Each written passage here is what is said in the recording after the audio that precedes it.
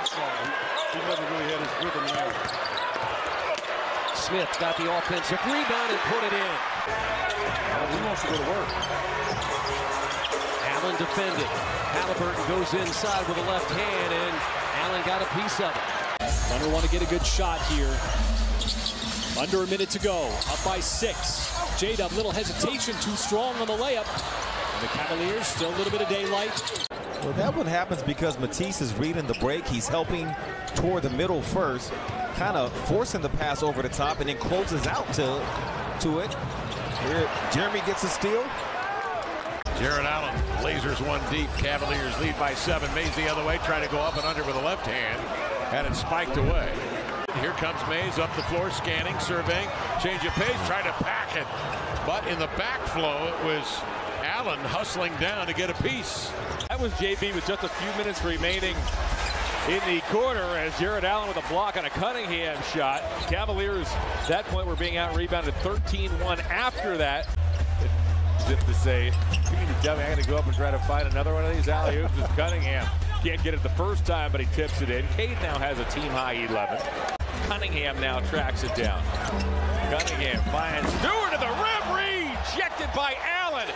Outstreams Mobley, and Mobley lays it in. Great job by Jarrett Allen. He now has 18 points. That's critical. Really needed that needed that three from Max. Give us a little breathing room.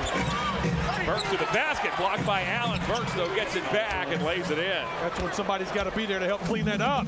Cunningham leaned on by Strus. Shoveled back to Knox. Knox with a hesitation move. Lost the ball. Mobley grabs it.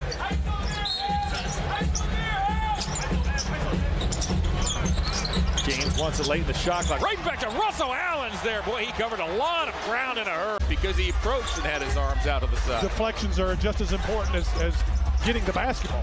LeBron uses all that size as Allen comes over and makes the rejection. So that just shows you the difference of what we're focused on and how you have to really hyper focus on what you're trying to accomplish throughout the entirety of the game. Siakam curls in the bucket. Jarrett Allen says no.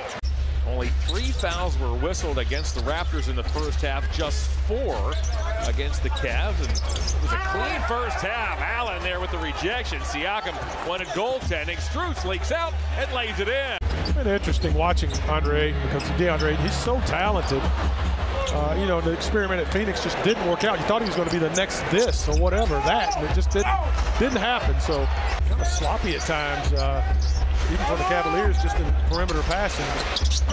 Grant glides to the basket. Allen got back there and altered the shot. Strus has his head up.